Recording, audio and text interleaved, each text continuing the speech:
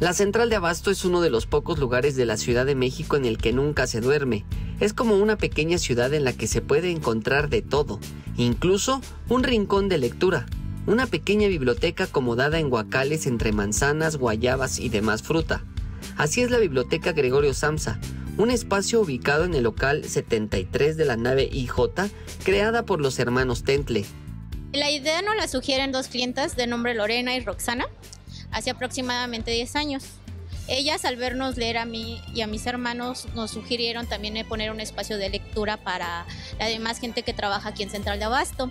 Con una donación de alrededor de 200 ejemplares, fue como nació la Biblioteca Gregorio Samsa, nombre que hace alusión al libro La Metamorfosis de Franz Kafka y que se fue integrando al ambiente cotidiano de la central aunque complicado entre el bullicio y las miles de personas que transitan a diario, supo formar parte de la cotidianidad de este gran mercado.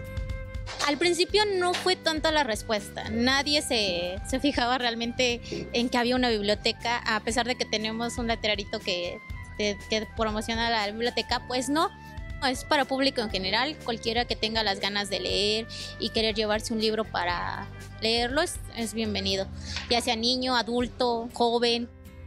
Contrario a una biblioteca convencional, en la Gregorio Samsa no hay pagos, no hay membresías ni tampoco pide ninguna identificación para prestar uno de los más de 700 títulos con los que cuenta actualmente. La única y más importante regla es cuidarlo. Y les asombra el saber que no pedimos más que las ganas de leer, porque no nos, te digo, nos manejamos por un código de honor en el que tú eres el responsable de regresar el libro cuando tú te este, lo termines de leer. Si no cuenta con una tarjetita dentro, les damos un papelito para que en ese papelito pongan su nombre y la fecha en que se lo llevan y lo pueden regresar el día que lo terminen de leer.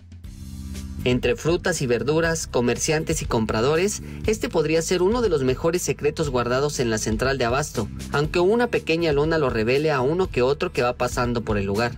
Son jornadas tan largas de trabajo aquí en la central que a veces la gente, los trabajadores de aquí no se dan cuenta no, no, no, no, no se fijan que hay una biblioteca aquí. Y hasta que alguien más les dice. Vi que estaban viendo unos libros y me acerqué porque quería, primero quería comprar unas cosas, fruta. Pero vi que de los libros y no sabía la verdad que llevo como 20 años aquí en la central. No sabía que había un lugar donde podía este, pasar por un libro, llevármelo tranquilamente, como me dijo la señorita, y volverlo a regresar y volver a llevarme otro libro. Con la confianza como su único requisito, Verónica le resta importancia al hecho de que un libro no vuelva a la biblioteca, pues dice, lo importante es fomentar el hábito de la lectura. Siempre y cuando lo sigan rolando y más gente lo lea, es, esta es la finalidad de la biblioteca, que se expanda más el, el leer y que si ese libro te sirve para que tú se lo des a otras dos, tres personas, no hay ningún problema.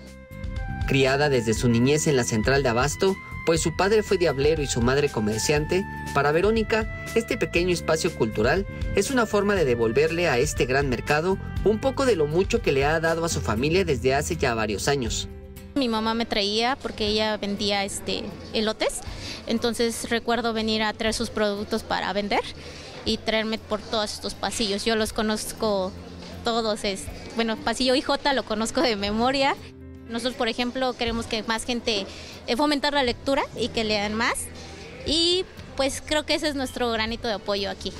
Los libros te llevan a hacer, tener más conocimiento y yo lo, particular no lo he hecho. Hoy voy a empezar a hacerlo y empiezo con algo pequeño. Tras casi ya 10 años de su existencia, Verónica aún espera esa combinación perfecta en donde la gente vaya a la central de abasto a comprar y de paso a leer, una combinación que le daría más vida a la biblioteca Gregorio Samsa. Con imágenes de Andrés Brito, Jesús Arias